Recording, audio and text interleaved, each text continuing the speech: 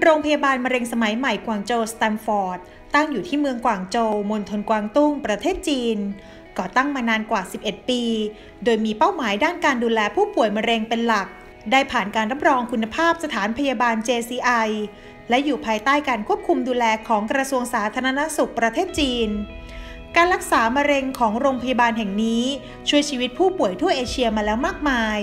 โดยทางโรงพยาบาลมีความโดดเด่นในด้านเทคนิคการรักษามะเร็งแบบเฉพาะจุด ผสมผสานระหว่างแพทย์แผนจีนและตะวันตก โดยมีเทคโนโลยีที่ทันสมัยมากถึง 18 วิธี เช่นการรักษาด้วยความเย็น การรักษาด้วยคีโมเฉพาะจุด การรักษาด้วยเซลล์ภูมิคุ้มกัน รวมถึงการรักษาด้วยมีดนาโน ซึ่งเป็นวิธีการรักษาโดยไม่ต้องผ่าตัด มีผลข้างเคียงน้อย หลังการรักษาเนื้องอกจะยุบตัวและผู้ป่วยฟื้นตัวเร็ว ข้าพเจ้าซื้อเวียงสมัยมาจากประเทศลาว ที่ได้มาปัวโรคมะเร็งเต้านม อยู่ที่โรงพยาบาลกวางโจ การมารักษาลง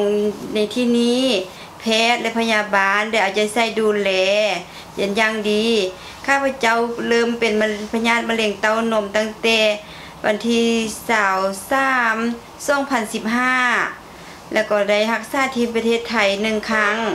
ใส่คีโมที่ประเทศไทย 6 ครั้ง แต่พอได้ครบรอบ1ปี 2016 วันที่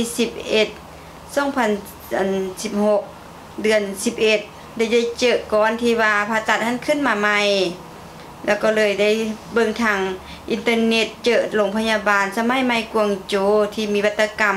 การปินปัวใหม่ก็ได้เลยมารักษาอยู่ทีนี้เดี๋ยวพอใส่คีโมครั้งทำอิดได้เก้าวันก็เห็นว่าก้อนนั้นน้อยลง แล้วก็มาทำการคีโมครั้งสองครั้งสามครั้งสี่ปัจจุบันนี้จะครั้งที่ห้าถือว่ากรมันหายไปแล้วแล้วก็อาการข้างเคียงของคีโมไม่มีโบโบโบเป็นหยังธรรมดาห่างไกลปกติดีโบอิดโบเมื่อยโบเพียลาย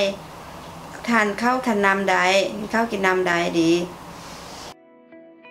ปัจจุบันมีคนไข้ชาวไทยจำนวนมาก รักษาตัวอยู่ที่โรงพยาบาลมะเร็งสมัยใหม่กวางโจวประเทศจีน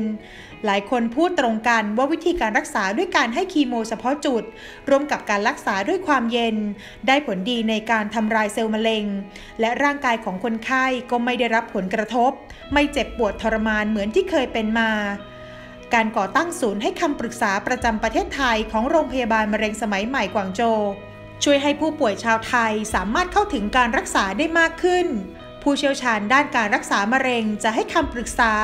ประเมินอาการ เพื่อประกอบการตัดสินใจในการรักษาของผู้ป่วย โดยการปรึกษานี้ไม่เสียค่าใช้จ่ายใด ๆ ทั้งสิ้น ผู้ที่สนใจสามารถสอบถามข้อมูลได้ที่หมายเลข 026452799 หรือ 082 799 2888